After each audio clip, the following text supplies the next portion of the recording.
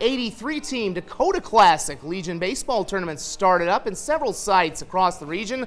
Brandon was one of the hosts, and Brandon Valley took on Ralston this afternoon. We started off tied in the fourth inning when Owen Elsasser hits one through the defense, allowing Wyatt Getman to score, giving them a 1 0 lead. However, trailing by that one run in the fourth inning, Brandon Valley's Luke Smart smartly crushes a ball to right field. That'll score a pair to give Post 131 a 2 1 lead.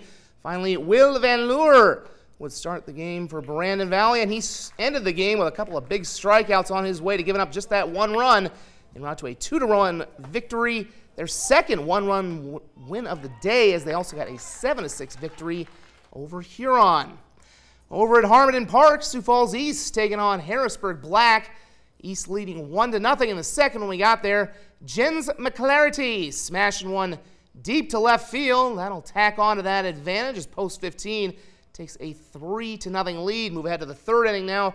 Sawyer Mint, who was quite busy when they won the Lewis and Clark Invitational last week down in Yankton, he puts that ball through the hole. Colin Lunders, who was hitting a bunch of home runs last week, will come in to make it 4 0. Harrisburg Black now down 4 0 in the fourth when Evan Drake puts it up the middle. That'll get a run aboard for them. However, it was all east on this day. Now 5 to 1 in the fourth when Lunders barrels one deep to center. Two more will come in to make it 7 to 1. And it's all east on this day. They take it 9 to 1. That tournament will run through Monday.